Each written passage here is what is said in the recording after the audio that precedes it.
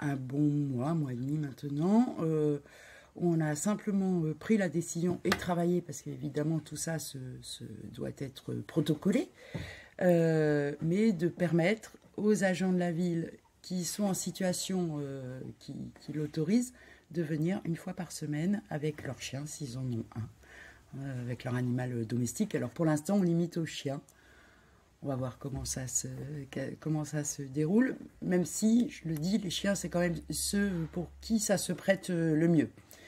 Alors, euh, les chats, c'est un peu plus compliqué parce que parce qu'ils préfèrent être chez eux en général qu'avec leur maître. On a, plutôt, en général, on habite chez son chat plutôt que lui n'habite euh, chez nous. Tandis que les chiens, ils sont absolument attachés à la présence, euh, plus attachés à la présence de leur maître et, enclins à suivre leur maître ou leur maîtresse. Pourquoi est-ce qu'on a mis en place cette, cette, cette expérimentation euh, il y a euh, deux, on poursuit deux objectifs. Euh, à la fois évidemment le, le, bien-être animal, parce que, mais, mais aussi les conditions de travail. Toutes les études le montrent, ça, ça, contribue à la qualité du travail, ça, apaise les relations, ça, met une ambiance qui est plutôt chaleureuse et sympathique.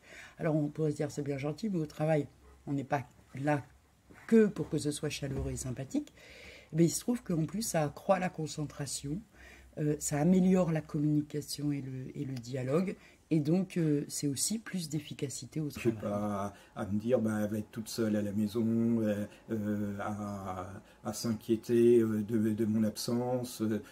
et je vois bien qu'elle est vraiment contente d'être entourée, à la fois quand je suis à mon bureau, hop, elle vient se coucher à mes pieds, ou dès qu'il y a des collègues qui arrivent, elle, elle va tout de suite les voir à, à demander des caresses.